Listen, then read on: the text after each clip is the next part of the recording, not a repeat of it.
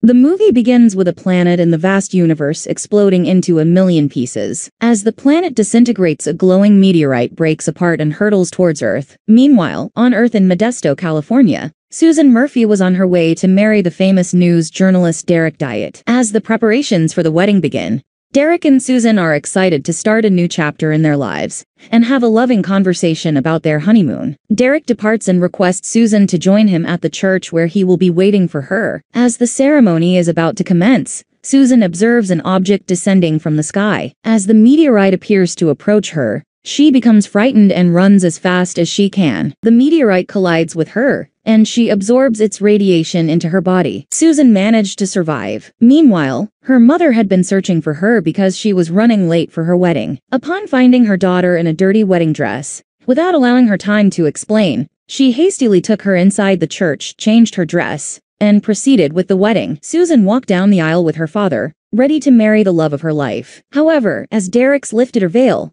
he was shocked to see her face glowing. She too becomes terrified upon seeing herself in that state. Due to radiation exposure, Susan's body grew exponentially, resulting in her reaching an enormous size that caused the church to collapse under her weight as she continued to expand. Her monstrous appearance terrified all those present, and they scrambled towards the front door in a frantic attempt to escape before the church crumbled entirely. Meanwhile, the U.S. military detected the comet and dispatched a team to secure the area. The team succeeded in capturing Susan by administering a tranquilizer via injection after which they transported her to a secure location. Susan awakens in a top-secret government facility, closed off in a cell with no one around. After pleading for help several times, she starts wandering around. She notices a cockroach in the hall and becomes frightened. When the insect speaks to her, she is shocked and tries to kill it. To her surprise, a jelly-like creature and a fish-looking creature, also join the cockroach. They introduce themselves as Dr. Cockroach, a mad scientist who turned himself into a hybrid of roach and human.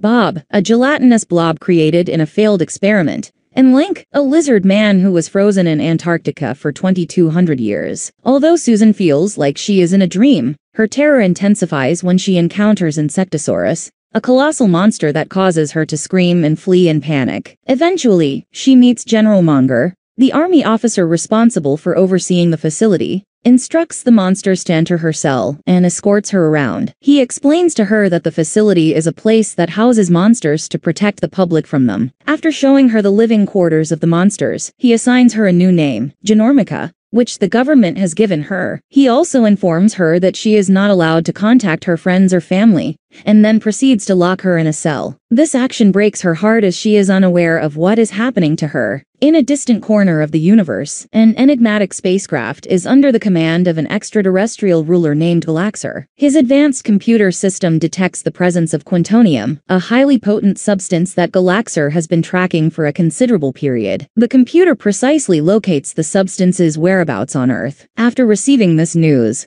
Gallaxhar dispatches one of his robots to Earth to retrieve it. As soon as the robot touched down on Earth, the military quickly located and discovered it. The President of the United States tried to initiate contact with the extraterrestrial robot, but instead of responding peacefully, the robot launched a violent attack and resisted all conventional military efforts brought against it. Despite the U.S. Armed Forces' repeated attempts to destroy the robot, it headed straight towards San Francisco. The president called for an urgent and confidential meeting to discuss the critical matter of eradicating the alien threat. Unfortunately, despite the best efforts of the assembled group, they were unable to devise a practical solution due to the aliens' invulnerability to conventional weapons. Meanwhile, General Monger from the U.S. military arrived and informed the president that their only hope lay in utilizing the monsters held in a secret facility. The monsters, although dangerous and uncontrollable, possess the strength and bravery needed to destroy the aliens. General Monger brokered a deal with the monsters, proposing a partnership to take on the aliens, emerge victorious, and in exchange, grant them the freedom to reside beyond their confinement. The monsters and Susan readily accepted the offer. When they arrived at the location of the alien, Genormica became panicked upon seeing the gigantic robot present. As a result, she ran away and hid in the city. However, the robot detected the presence of Quantonium and followed her into the city. Upon finding her,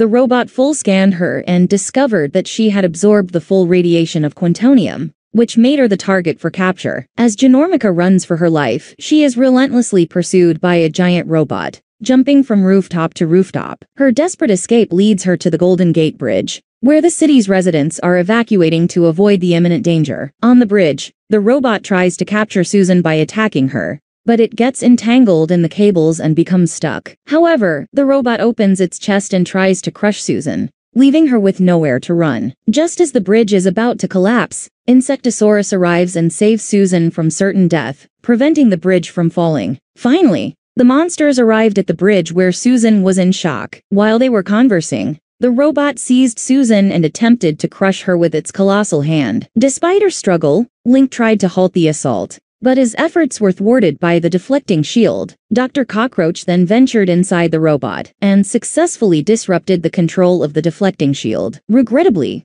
the robot's eye emitted a glowing light, which caused Insectosaurus to freeze. However, Bob and Genormica were successful in rescuing the people on the bridge, and Genormica used her immense strength to pull the colossal robot, causing it to crash into the sea. As a part of the bridge fell on the robot, its head got severed. Ultimately, Susan emerged as the hero who saved the day. Meanwhile, Gallaxhar, who had been monitoring the incident from afar, grew infuriated and resolved to travel to Earth to capture the Quantonium that Genormica possessed within her body. After Monger releases all the monsters, Susan and her friends make their way back to her hometown to reunite with her family and her boyfriend Derek. Upon meeting their daughter, Susan's parents are overjoyed. Susan then introduces her monster companions to her parents, and requests that they be taken care of while she spends time with Derek. However, during the welcome home party, the monsters cause multiple issues, and people begin to fear and avoid them, resulting in a rift. Genormica pays a visit to Derek's studio because she misses him so much. Overcome with emotion, she embraces him tightly with her giant hands and kisses him, longing to restore their previous relationship. Unfortunately, Derek abruptly ends their engagement,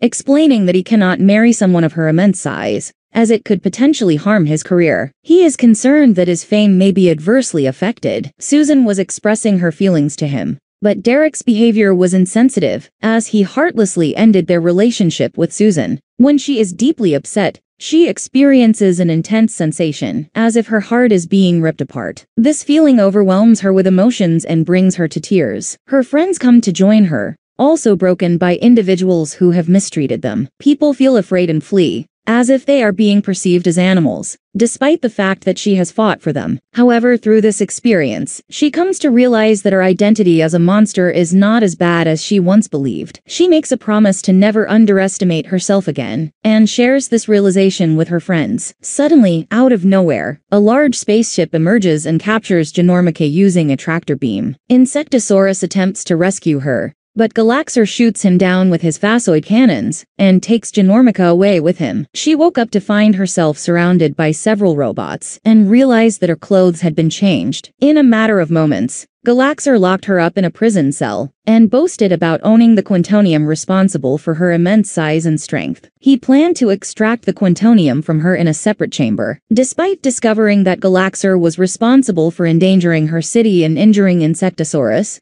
Genormica became extremely angry and managed to break free from her cell. She chased after Gallaxhar as he attempted to flee, but unfortunately, he succeeded in ensnaring her within an extraction chamber. The device stripped her of her quantonium and reduced Genormica to her initial size, devoid of any abilities. Subsequently, Gallaxhar used the extracted quantonium to generate numerous clones of himself, with the intention of establishing his own dominion on Earth. This news is spreading quickly worldwide. Gallaxhar has issued a warning to the inhabitants of the planet that within 24 hours he plans to kill them all. The monsters on Earth were saddened by the deaths of Insectosaurus and Susan's capture. However, Link convinced Bob and Dr. Cockroach that they must go up to the spaceship to save Susan and the world for distraction. With the help of the General Monger, the monsters were able to infiltrate the alien spaceship. However, Gallaxhar quickly shot down the plane. Fortunately, the pilot and General Monger were able to escape from the destroyed plane using parachutes. The monsters boarded the ship and conducted a search, ultimately discovering Susan. One of the clones began escorting her to the incinerator, but the group disguised themselves as Gallaxhar clones, and successfully tricked the clones into giving them the necessary security pass and gun. Despite the clones' instructions to incinerate Susan, the monsters managed to make their way to the main power cord with her. However, Gallaxhar was alerted by the spaceship's computer that there were intruders on board. Unfortunately, he informed all his aliens about the monsters and ordered them to hunt the intruders down. The monsters managed to flee and luckily reached the ship's security area where the main power core was located. Dr. Cockroach was able to solve the computer color code by leaping onto the dancing disco panel. Eventually, he managed to turn the ship's computer into self-destruct mode. Gallaxhar did everything in his power to stop the self-destruction,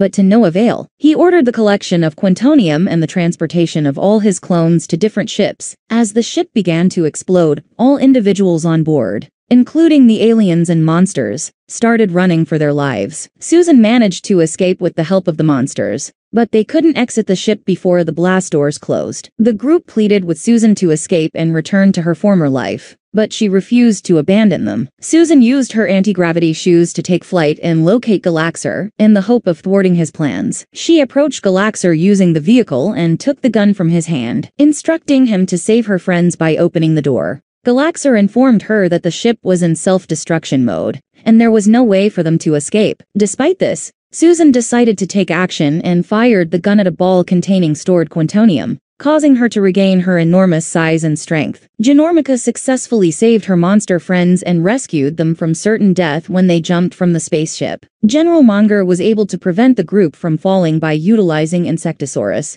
who had undergone a metamorphosis and transformed into a butterfly. As a result, the ship exploded instantly with Gallaxhar trapped inside.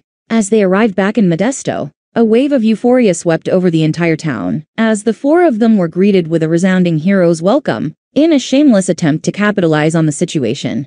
Derek cunningly offers Genormica forgiveness and a chance to rekindle their marriage, but with a catch he wants her to give an interview for his channel. However, Susan fiercely rejects his proposal and delivers a crushing blow by kicking him with her giant finger, humiliating him in front of a live TV audience. The incredible Genormica and her fearsome monster companions have captured the hearts of millions as they rose to become globally renowned heroes, and now they stand ready to save the world once more.